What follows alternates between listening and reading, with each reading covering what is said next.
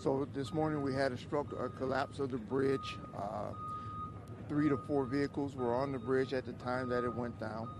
We are have extricated everybody off. As the mayor stated, there were uh, 10 minor injuries. Three were transported. None were life-threatening. EMS Bureau set up for rescue. They have uh, the heavy rescue units here.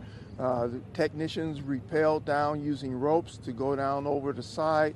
Uh, they helped the uh, firefighters that were here initially on scene also did like a daisy chain with hands, just grabbing people and pulling them up. So there was a massive gas leak caused by the collapse that is now under control. Several families were evacuated from their homes. They have been allowed back. Uh, we were told by the gas company that all their gas service has been restored. You know, I said it before. This bipartisan infrastructure law is critical to, to, to, Southwest Pennsylvania and the city of Pittsburgh.